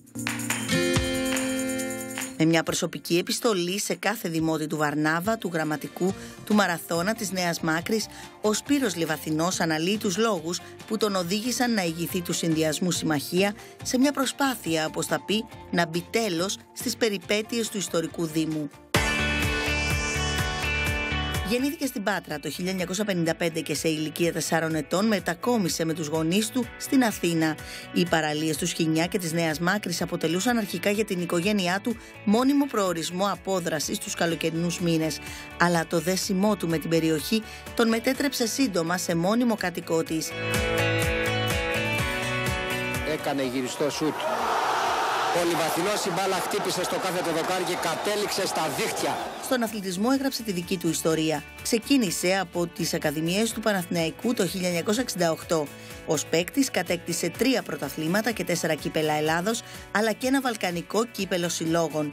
Ο ίδιος υπήρξε και ομοσπονδιακός προπονητής της Εθνικής Ελλάδος Νέων από το 2014 έως το 2018.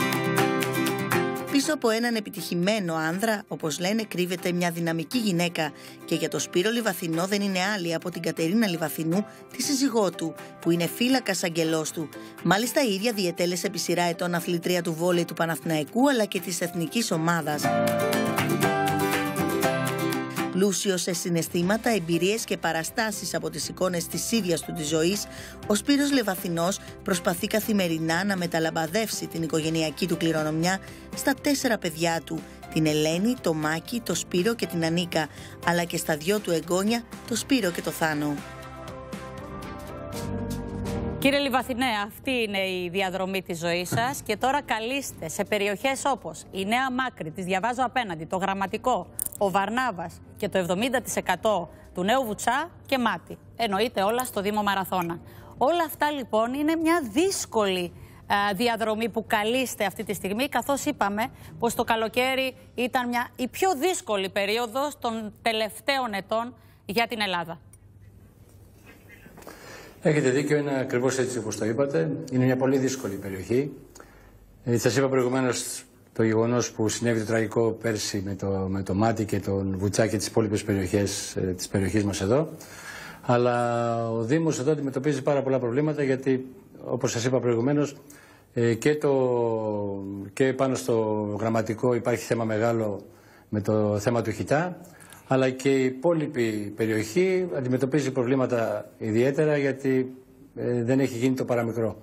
Θα έλεγα ότι η καινούργια Δημοτική Αρχή, αν ο Θεός θα φέρει κα, ε, όπως πρέπει και καταφέρει ο κόσμος και με εκλέξει, νομίζω ότι από τη Δευτέρα την επόμενη θα ξεκινήσει η καθημερινότητα. Χωρίς να αναλαμβάνεις, γιατί δεν πρέπει να αφήσουμε το χρόνο να περάσει, χωρίς να να, θα πρέπει να περιμένουμε το Σεπτέμβριο που αναλαμβάνουν, όπως ξέρετε και Είναι στην προτεραιότητά σας το μάτι, κύριε Λιβαθινέ. Διότι εμείς μέσα από αυτήν την εκπομπή ναι. έχουμε αναδείξει πολλές φορές την κρισιμότητα της κατάστασης. Υπάρχουν άνθρωποι εκεί που ακόμη δεν έχουν μπει σε μια στέγη που είναι έξω, που τα παιδιά τους είναι έξω, που ζουν καθημερινά παλεύοντας με τις φωτιές της ψυχής τους. Και σας παρακολουθώ και το έχετε και από πάρα πολύ κοντά, αλλά και το έχω δει και εγώ ίδιος. Σας το είπα και προηγουμένως ότι η κατάσταση είναι πάρα πολύ άσχημη για τους ανθρώπους αυτούς.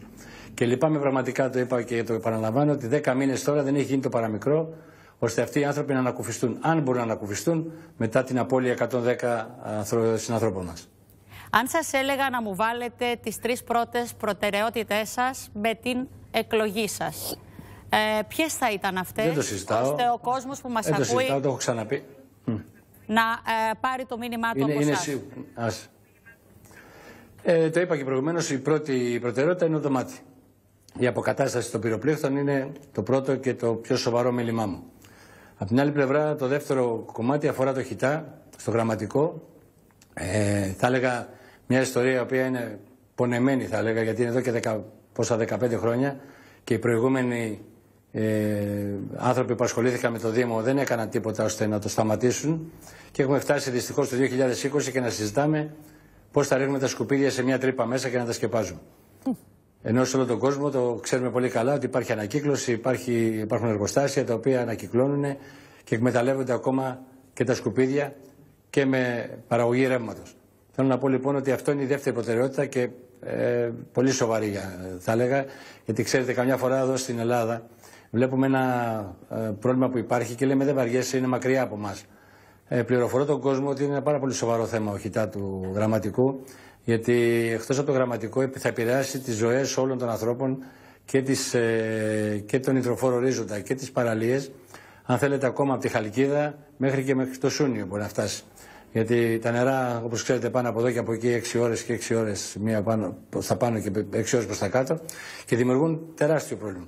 Και δεν μιλάω για την δυνατότητα που έχουν πουλιά, χιλιάδες πουλιά να μεταφέρουν, αν θέλετε, αυτά που θα κουμπάνε πάνω στα σκουπίδια να τα μεταφέρουν στη λίμνη του μαραθώνα, του μαραθώνα που καταλαβαίνετε και εκεί τι οικολογική συμφορά θα υπάρχει. Και το Αυτό τρίτο λοιπόν είναι το κομμάτι; δεύτερο. Και πιστεύω ότι. Και το τρίτο είναι δυστυχώς η καθημερινότητα. Λυπάμαι που το λέω. Ο μαραθώνας αυτός ο ιστορικός τόπος να ξεκινάμε το 2019-2020 και να λέμε ότι ε, να υπάρχουν δρόμοι που είναι μόνο τρύπε. Να, υπάρχουν, να μην υπάρχει φωτισμός. Να έχουν φύγει, να έχουν κλείσει τα περισσότερα καταστήματα. Δυστυχώς πρέπει να ξεκινήσουμε από το μηδέν. Και, μια, και μιλάω για μια περιοχή τόσο ιστορική που σε όλο τον κόσμο που εγώ επειδή γυρίζω, ε, κάνω πάρα πολλά ταξίδια και έκανα και μέχρι τώρα που ήμουν προ- ομοσπονδιακός προπονητής, ε, υπάρχει, είναι το brand name, είναι παγκοσμίως γνωστό και όλος ο κόσμος ε, πρέπει να πεις μαραθώνα για να καταλάβουν ε, ότι γνωρίζουν την Ελλάδα και πώς τη γνωρίζουν. Κύριε Εμείς εδώ Λιβαθινέ, δυστυχώς την έχουμε ε, υπο, υποτιμημένη. Ορίστε. επειδή έχει τύχει πάρα πολλές φορές να έρθω στο Μαραθώνα, είναι ένας τόπος με πολύ ωραίους ανθρώπους. Αυτή την Κυριακή θα δώσουν την ψήφο τους ή σε εσάς ή στον αντίπαλό σας. Θα ήθελα όμως να μου κάνετε τον επίλογο της σημερινής μας κουβέντας με ποδοσφαιρικούς όρους. Τι λέτε λοιπόν στους συμπολίτες σας, εσείς, ο κύριος Λιβαθινός, ο κύριος Σπύρος Λιβαθινός, προκειμένου να τρέξουν στην κάλπη. να ρίξουν την μπάλα δηλαδή. Καλό, το, κα- καλό, καλό τον κόσμο να έρθει να ψηφίσει πρώτα-πρώτα και να είναι σίγουρο ότι όλα τα αποτελέσματα στο ποδόσφαιρο είναι μέσα. Εγώ πιστεύω ότι το αποτέλεσμα για μας θα είναι νίκη και πιστεύω ότι εμείς θα βάλουμε τα περισσότερα γκολ και θα κερδίσουμε. και όλα θα πάνε καλά. Σας ευχαριστούμε πάρα πολύ. Ε, νομίζω ότι θα έπρεπε να βάλουμε τη μουσική της Αθλητικής Κυριακής τώρα για να μας παρέπεμπε έτσι ε, σε παλιές καλές στιγμές του ελληνικού ποδοσφαίρου που τότε ήσασταν πρωταγωνιστής. Ελπίζω και η κάλπη να σας αναδείξει πρωταγωνιστή. Να είστε καλά, καλή συνέχεια στη μέρα σας. Γεια σας. Διαφημίσεις και Ευχαριστώ